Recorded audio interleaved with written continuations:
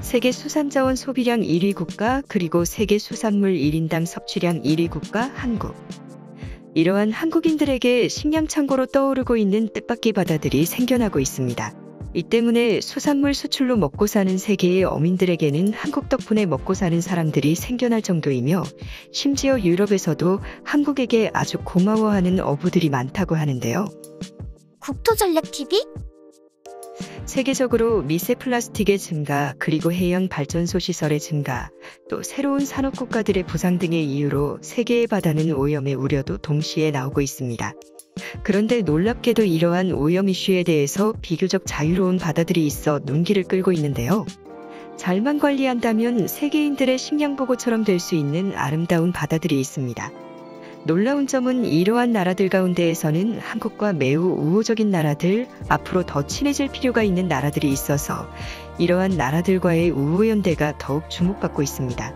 그렇다면 세계에서 이러한 오염 이슈에서 비교적 자유로운 바다들은 어디가 있을지, 또 세계적인 환경 오염 이슈에서 가치가 높은 바다는 어느 바다들이 있을지 함께 살펴보려고 합니다. 첫 번째, 세계에서 가장 높은 바다 이시쿠로수. 최근 한국인들에게 관광지로 급부상 중인 한국의 매우 우호적인 나라 키르기즈스탄. 키르기즈스탄에는 매우 매우 아름다운 호수가 있습니다. 그런데 이게 단순한 호수가 아닙니다. 사실상 바다와 같기 때문입니다. 호수의 길이는 무려 177km, 폭은 57km로 거의 작은 나라 하나에 준하는 사이즈에 세계에서 10번째로 큰 호수입니다. 이 때문에 고대의 서적들은 이 호수를 바다라고 불렀습니다. 천산산맥의 기슭에 위치하고 있는 영수호로서 바닷물이 짜고 수평선이 보일 정도의 넓이로 인해 마치 바다와 흡사합니다. 가장 깊은 곳의 깊이는 무려 700m에 이르러 서해바다보다 장엄한 이미지를 줍니다. 놀라운 부분은 이 호수의 해발 고도가 무려 1600m에 달한다는 것입니다. 웬만한 한반도의 높은 산들, 심지어 설악산보다 훨씬 높은 곳에 자리 잡고 있는 호수입니다. 놀라운 부분은 이곳에 흘러들어오는 강물은 천산산맥을 비롯해 모두 깨끗한 산악지형에서 물이 흘러들어오고 있고 나가는 물줄기는 하나도 없어서 아라레와 같이 물이 줄어들 염려는 없는 상황입니다. 심지어 키르기즈스탄과 국제단체에서는 이 지역을 환경적으로 보호하기 위한 노력을 기울이고 있어 세계에서 가장 깨끗한 해산물을 먹으려면 바로 이 호수에서 잡히는 수산물을 찾으면 될 정도가 되고 있습니다. 앞으로 해수면 상승이라던가 여러 해양 오염 이슈에서 이 이시쿨 호수는 해발 고도 1600m 이상의 위치에 있는 특성, 그리고 오염에 대비해 정부 차원에서 람사르 지정 등의 노력을 기울이고 있는 특성상 세계의 보물창고처럼 바뀌게 될 가능성이 있습니다. 특히 키르기스스탄은 최근 한국과의 경제적 연대 필요성이 증가하고 있는 나라이지만 마땅히 수출을 할 만한 물건이 없는 나라여서 노동력 수출 정도를 한국에 하고 있는 실정입니다.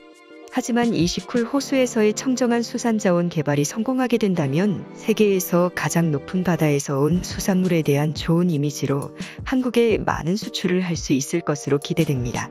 키르기즈스탄은 최근 한국과 직항 항공 노선이 개설되면서 많은 한국인 관광객이 방문할 나라로 부상하고 있는 만큼 이 호수를 방문해 보는 건 좋은 여행의 한 선택지가 될 수 있을 것으로 보입니다.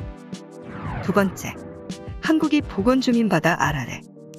한국의 물관리 기술이 중앙아시아에서 새로운 바다를 만들고 있다는 걸 아는 사람들은 많지 않습니다.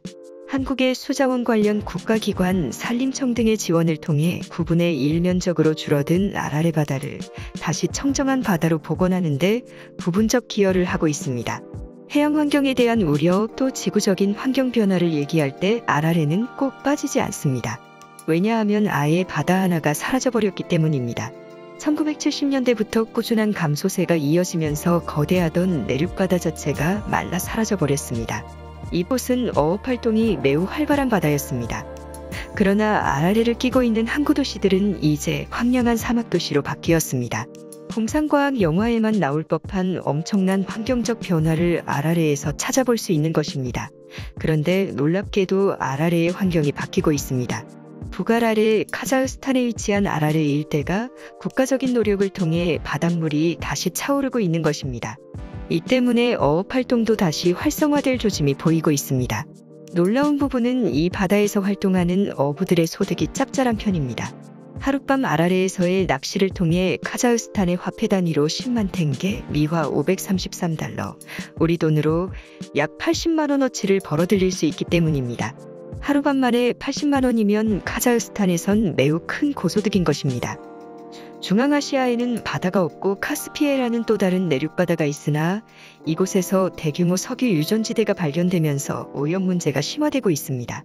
깨끗하던 바다였던 카스피해에서는 멸종위기 바다표범 2,500마리가 떼죽음을 당하는 상황에 처하면서 죽음의 바다로 바뀌고 있는 상황입니다. 카스피해는 러시아, 이란, 카자흐스탄, 아제르바이잔 등 매우 여러 나라들이 걸치고 있는 내륙바다로서 관리 자체가 매우 어려운 지경입니다. 반면 바로 인근에 위치한 아라레의 경우에는 환경적인 보호 노력에 더해 국경을 접하고 있는 나라가 우즈벡과 카자흐스탄 단 두 나라뿐이어서 청정한 내륙바다로 다시금 탄생의 움직임이 보여지고 있는 상황입니다. 놀라운 부분은 우리나라 산림청이라던가 관련 수자원 공기업 등의 노력이 이 아라레 바다복원에 기여를 하고 있다는 점은 매우 멋진 일로 볼 수 있습니다. 덕분에 카자흐스탄과 우즈베키스탄 등 아라레 연안 국가들의 국민들은 이곳에서 나는 깨끗한 수산 자원을 먹을 수 있게 되고 있습니다. 세 번째, 한국인들의 식량 창고 지중해 연안.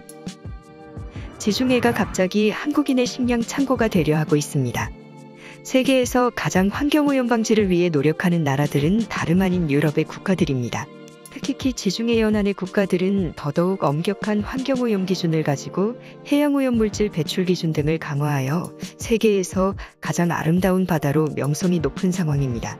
그런데 최근 지중해에서는 놀라운 일이 벌어지고 있습니다. 바로 이탈리아의 바다에서 벌어지는 일인데요. 이태리 바다에서는 최근 푸른 꽃게 블루크랩이 이태리 수산업계를 회박 놓고 있습니다. 급작스러운 기후적 변화의 여파로 인해 이태리인들이 즐겨 먹던 조개류를 먹어치우면서 개체수가 급격하게 증가하고 있는 상황입니다. 안타깝게도 이 지중해 국가 세계적인 미식 국가로 유명한 이태리인들은 게를 먹지 않는다는 점입니다.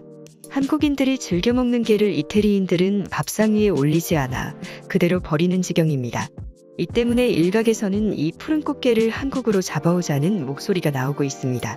황폐화되고 있는 이태리 수산업계의 희망의 소식이 될 가능성이 높아지고 있습니다.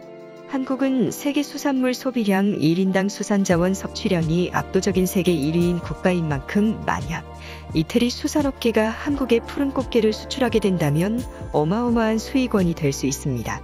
더욱이 한국과 이태리 간에는 교역량이 그다지 크지 않은데 이태리산 꽃게를 먹게 될 날이 오게 될 수 있습니다. 그동안 한국은 지중해산 푸른 꽃게를 이태리 맞은편 튀니지에서 수입을 하고 있었습니다. 튀니지 역시 2014년도부터 푸른 꽃게 개체수가 급격하게 늘어났는데 2017년도부터 한국에 수출을 시작하면서 이렇다 할 만한 국가적 수입이 없었던 튀니지에서 소위 대박이 난 수산자원입니다. 이태리까지 푸른 꽃게 수출을 한국에 하게 된다면 이태리 현지에서 한국에 대한 호감도는 매우 크게 증가하게 될 수 있습니다. 놀라운 부분은 이러한 지중해의 블루크랩만이 한국인들의 식량 창고가 되는 수산 자원이 아닙니다. 지중해의 지브롤터의 협을 바로 벗어나게 되면 나타나는 아프리카 북서부 연안에서 잡히는 문어도 있기 때문입니다. 바로 모로코, 세네갈 등의 북아프리카 북서부 연안 국가들 중에서는 문어를 한국에 수출을 하고 있는 것입니다. 그 이유는 바로 이 지역은 이슬람 국가들로 가득 차 있는데 종교적 이유로 문어를 먹지 못해서 다수의 어획량을 한국에 수출을 한다고 합니다. 네 번째, 한국에 고마워하는 북유럽의 어민들. 북유럽의 북해어민들, 특히 스코틀랜드의 어민들은 한국에 대한 인식이 달라지고 있습니다. 매우 땡스풀한 나라, 고마운 나라로 인식이 바뀌고 있다고 볼 정도인데요. 환경오염 물질 배출 기준이 까다로운 지중해와 마찬가지로 북유럽 국가들 역시 바다를 매우 사랑하는 나라들입니다. 그 중에 또 다른 한국인들의 식량 창고가 있습니다. 바로 영국 북해입니다. 영국의 어민들은 최근 blue crab 개체수 증가로 인해 고통받는 이태리의 어민들처럼 큰 고통을 받았습니다. 바로 골뱅이 때문입니다. 골뱅이는 영국인들 뿐 아니라 유럽 사람들도 먹지 않는 어종이었습니다. 뭔가 외계인같이 생긴 모양 때문일까요? 그런데 영국 어민들이 한국 때문에 소위 횡재를 하고 있습니다. 바로 골뱅이를 한국인들이 가장 좋아하는 수산물인 걸 알기 시작했기 때문입니다. 그들은 오직 한국 사람들에게 수출하기 위해 어업 활동에 나서고 있습니다. 매년 10월이면 영국 북해 부둣가는 한국에 수출하기 위한 골뱅이자 비어선들로 인해 북해의 경제가 돌아가고 있는 상황입니다. 최근 영국은 브렉시트 등의 여파로 경제가 매우 좋지 못했습니다. 특히 북해연안 어업 활동이 많은 스코틀랜드의 경우에는 아예 영국으로부터 독립하자는 말까지 나올 정도의 상황이었습니다. 그런데 이러한 한국으로의 수산자원 수출 활용이 일어나면서 스코틀랜드의 경제를 활력 있게 만들고 있습니다. 다섯 번째, 세계에서 가장 정화 능력이 좋은 바다, 서해 바다. 한국의 서해 바다 황해 Yellow Sea라는 이름을 갖고 있는 우리의 바다 서해는 세계인들에게 오염의 바다처럼 널리 인식되고 있어 안타까움을 줍니다. 바로 중국의 동해연안에서 흘러나오는 미세 플라스틱과 발전소 등에서 나오는 오염물질이 세계 최악의 수준이기 때문입니다. 그럼에도 불구하고 어마어마한 정화력을 지닌 바다로 유명합니다. 바로 서해의 갯벌들 덕분입니다. 최근 발표되는 연구 결과에 의하면 서해의 갯벌은 놀라운 정화 능력을 가지고 있습니다. 바다로 유입되는 많은 오염물질들은 갯벌의 식물과 미생물에 의해 정화되기 때문입니다. 연구에 따르면 10제곱 킬로미터의 갯벌이 갖는 정화 능력은 10만 명이 사는 도시에 오염물질을 처리할 수 있는 하수처리장과 같아 1제곱 킬로미터당 1년에 약 30만 불의 가치를 지닌 엄청난 경제적 가치를 지니고 있습니다. 세계에서 갯벌이 가장 많은 바다는 역시 서해 바다이며 생물 다양성 역시 풍부한 바다가 바로 서해, 서해의 갯벌들입니다. 이 때문에 서해 바다는 세계적인 생태학적 가치뿐 아니라 세계인들이 합심하여 보호해야 할 바다이자 한국인들의 식량 창고로 보존할 만한 가치가 높습니다. 그러나 이 지역은 세계에서 가장 인구 밀도가 높은 지역이기도 해서 갯벌이 정화하지 못하는 수준의 오염물질 배출과 오염의 우려가 상존해 서해 유역의 환경 정화를 위해 국제적인 협의체 마련이 필요할 것으로 여겨집니다. 지금까지 여러 개의 바다들을 살펴봤는데 어떠셨나요? 한국인들의 식량 창고가 생각보다 많은데요. 이러한 바다를 지키기 위해서 우리 다 함께 노력해야 하지 않을까요? 그럼 국토전략TV 오늘 영상은 이것으로 마치겠습니다. 시청해주셔서 감사합니다.